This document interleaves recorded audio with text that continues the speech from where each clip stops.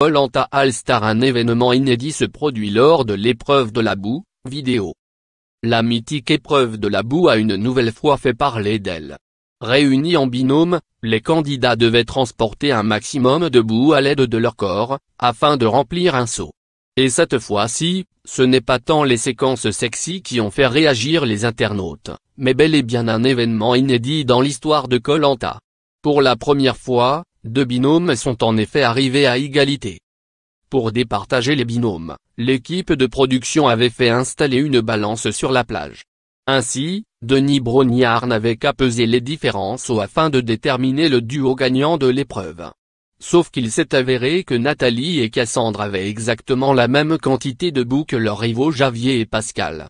Résultat des courses, les deux binômes ont dû à nouveau s'affronter, et cette fois-ci, ce sont Nathalie et Cassandre qui en sont sorties gagnantes. Le cœur sur la main, les deux femmes ont même offert leur confort au reste de l'équipe, un geste qui a suscité beaucoup d'émotions chez leurs coéquipiers. Par la Mulet.